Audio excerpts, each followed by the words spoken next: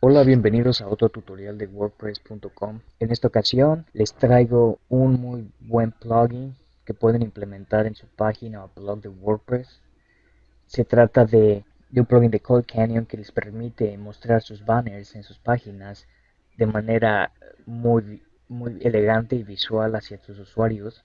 Como pueden ver en la parte inferior de mi página, este efecto de 3D que es muy ah, atractivo y esto lo vamos a implementar esperando uh, incrementar nuestro, nuestros clics en nuestros banners y obviamente uh, ganar más dinero por, por medio de esto.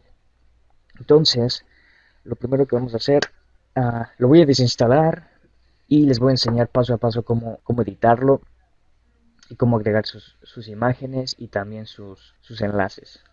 Entonces, lo primero solamente quiero enseñarles otros efectos que tiene. Esta es la página oficial del plugin.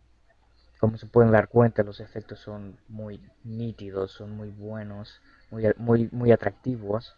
Ah, y entonces, lo primero que vamos a hacer es, supongamos que empezamos de nuestro escritorio de WordPress. Una vez que estamos en nuestro escritorio, en el menú de la izquierda, nos vamos a ir en ajustes y ustedes van a poder encontrar donde dice Banner Rotator 3D. Le damos clic ahí. Aquí, como pueden ver, tengo mis estadísticas que provee el plugin, que son muy buenas. Lo acabo de instalar ayer, entonces no, no, he tenido muchas impresiones. Lo que vamos a hacer es utilizar todas estas imágenes. Como pueden darse cuenta, tengo cinco imágenes en un solo banner entonces voy, voy, a borrarlo y vamos a empezar de, desde cero lo que ustedes vamos a hacer ustedes perdón lo que vamos a hacer ahora es darle clic en añadir nuevo banner le vamos a poner el nombre que queramos. Entonces podemos ponerle anuncio. 1 ustedes pueden ponerle el nombre que quieran. Le damos salvar. Ya tenemos el anuncio. Ahora lo que necesitamos hacer es añadir imágenes. Le damos clic en add image. Y muy, sencillo les da la opción de, subir sus propias imágenes desde su servidor o de su propia computadora como si lo estuvieran haciendo en, en una entrada o en una página normal. Yo ya tengo mis mis este mis enlaces entonces lo único que voy a hacer es copiar y pegar. Nada más es para, para darles una idea. Aquí solamente vamos a usar el 1, 1 y 8 segundos que queramos que nuestro banner sea visualizado y abajo en esta parte de aquí es el URL de la página que queremos que se abra cuando los visitantes den clic en nuestro banner y por último, vamos a decidir si, si cuando los visitantes den clic en nuestro banner se abre una página nueva, entonces utilizamos blank. Si queremos que sea en la misma página, utilizamos self. Esa ya sería cuestión de ustedes. Le damos al bar y como se pueden dar cuenta ya agregamos una, una imagen. Pero para que se pueda dar al, podamos ver el efecto necesitamos dos imágenes como mínimo. Entonces vamos a agregar una nuevamente. Como se dan cuenta, salva las modificaciones que hicimos previamente. Entonces seleccionamos una imagen nueva.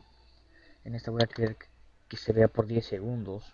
Y le cambiamos la URL donde queramos que el enlace sea dirigido. Le damos salvar imagen.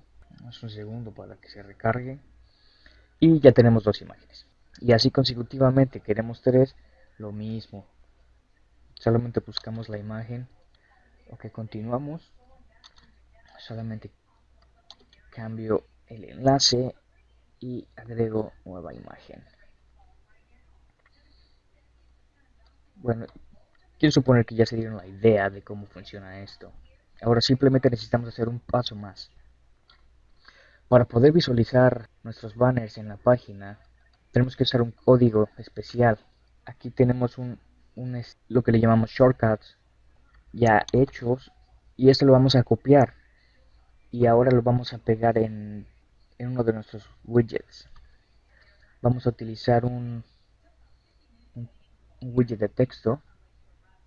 Lo ponemos aquí esta parte es importante, necesitamos ponerle un título, no es como cualquier otro plugin. Lo que pasa es que está hecho con Flash. Entonces, si no le ponemos título, puede que nos desconfigure nuestra barra lateral. Entonces, para evitar esos problemas, solamente ponemos, por ejemplo, patrocinadores, copiamos el, el código que nos viene y tenemos que hacer unas pequeñas modificaciones. Por ejemplo, el ID, este no lo vimos, déjenme les enseño nuevamente. Lo voy a abrir en una página nueva para que podamos seguir trabajando aquí. El ID es, este lo vamos a ver cuando creamos nuestro banner. Como pueden ver, el mío es el ID 3. Lo copio, perdón. Uh, le pongo ID 3. Este es importante para que pueda visualizarse. Ustedes pueden tener ID 1, ID 2, como este es mi tercer banner que creo, lugar equivocado, ok, ID3. Ahora, otra cosa que queremos hacer es cambiar las dimensiones de nuestro, de nuestro banner.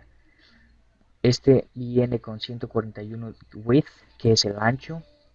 Nosotros, bueno, mi, mis, mis imágenes son de 300 píxeles de ancho y de 250 de alto, que es el height.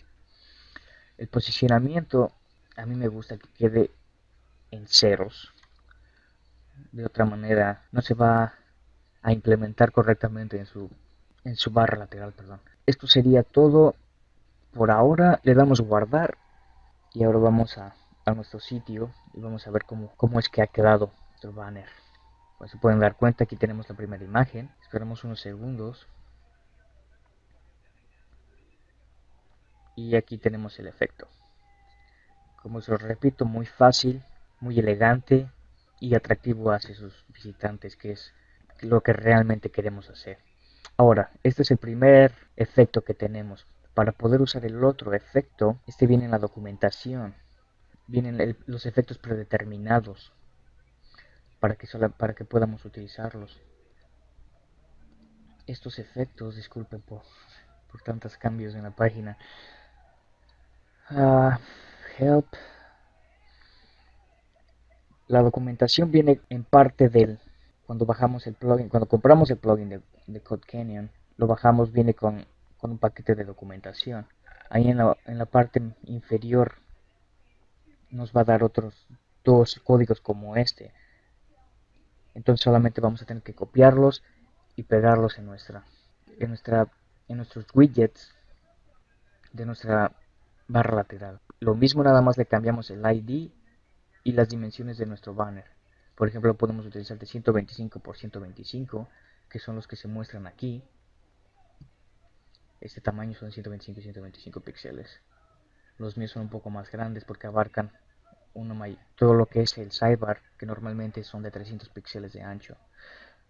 Ah, bueno, esto sería todo. No olviden de visitar WordPress español.com para ver más tutoriales. Como se pueden dar cuenta, el, el plugin solo cuesta 15 dólares. Es muy económico y puede traerle mucho, muchos, muchos clics a sus banners, de, a sus patrocinadores y por lo consecuente hacernos más dinero con nuestros anuncios.